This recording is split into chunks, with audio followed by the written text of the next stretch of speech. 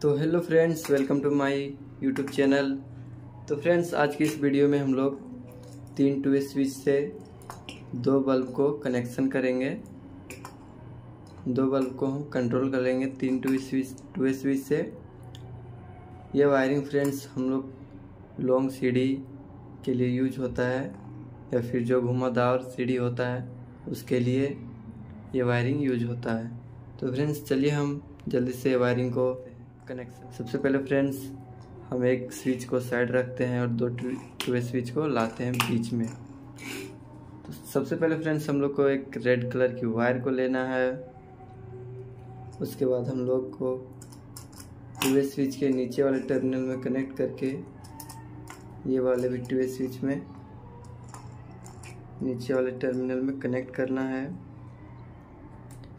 और एक और रेड वायर लेके ऊपर वाले टर्मिनल में कनेक्ट कर लेना है।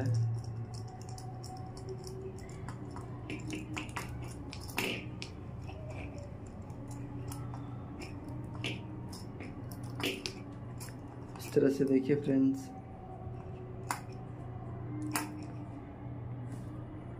इसको हम लोग को टाइट कर लेना अच्छी तरह से। तो देखिए फ्रेंड्स, इस तरह से हम लोग को कनेक्ट कर लेना है।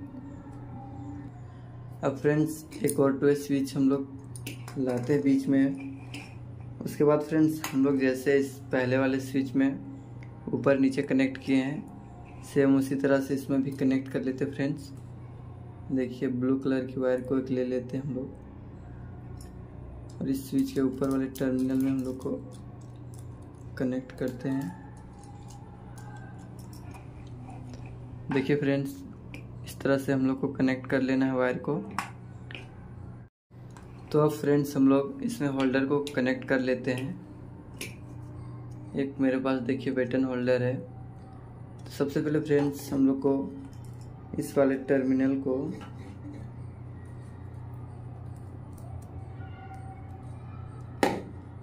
इस वाले टर्मिनल को बीच वाले टर्मिनल में कनेक्ट कर लेना है। देखिए इस तरह से। बीच वाले टर्मिनल में कनेक्ट कर लेते हैं फ्रेंड्स। इस तरह से। और एक होल्डर लेंगे फ्रेंड्स हम लोग, देखिए। ये हमारा न्यूट्रल इस वाले वायर को इस स्विच के बीच वाले टर्मिनल में कनेक्ट कर लेंगे। देखिए।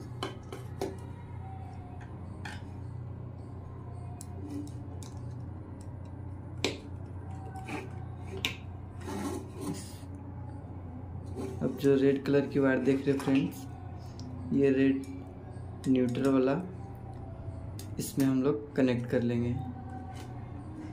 देखिए इस वाले टर्मिनल में होल्डर के इस वाले टर्मिनल में कनेक्ट कर लेंगे। अच्छी तरह से इसको टाइट कर लेते फ्रेंड्स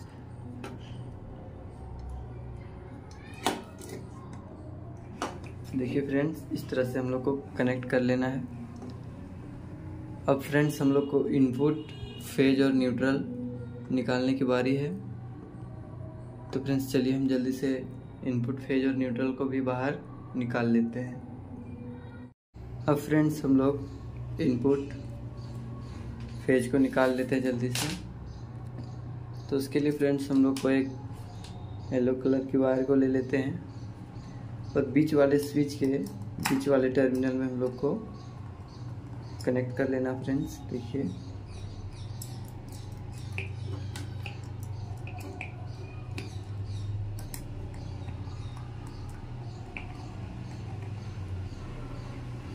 तरह से सॉरी ये हमारा फ़ेज़ कनेक्ट हो गया। अब फ्रेंड्स न्यूट्रल हम लोग को बल्ब इस बल्ब होल्डर के ये न्यूट्रल वाले टर्मिनल में कनेक्ट कर लेना है इसमें रेड वाले वायर में। चलिए हम फ्रेंड्स न्यूट्रल को भी कनेक्ट कर लेते जल्दी से। देखिए फ्रेंड्स न्यूट्रल को भी हम लोग को कनेक्ट कर लिए हैं। तो फ्रेंड्स देखिए हमारा वायरिंग कंप्लीट हो चुका है। अब फ्रेंड्स इसमें हम लोग सप्लाई देके आपको दिखाते हैं कि ये हमारा सही से वर्क कर रहा है कि नहीं। तो फ्रेंड्स इसके लिए हम अपने बेड में ले जाना पड़ेगा इसको टेस्टिंग करने के लिए। क्या कि यहाँ पे तो सुविधा नहीं है एक्सटेंशन बोर्ड की।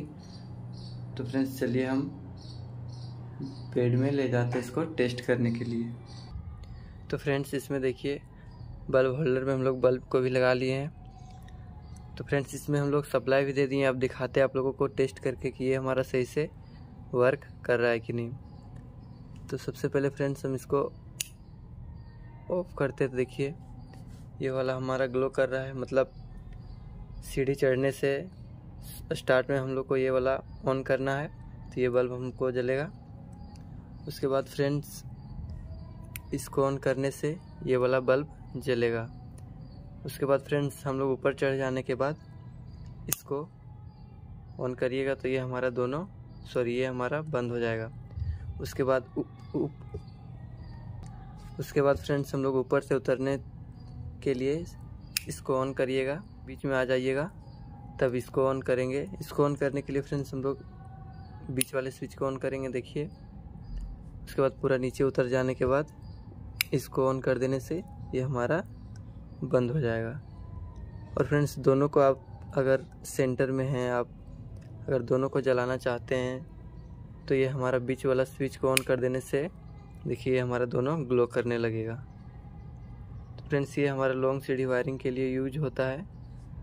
तो फ्रेंड्स, अगर आप लोगों को वीडियो अच्छी लगे तो सब्सक्राइब करना ना भूलें। तो फ्रेंड्स, मिलते हैं आप लोगों को नेक्स्ट वीडियो में। तब तक के लिए बाय बाय।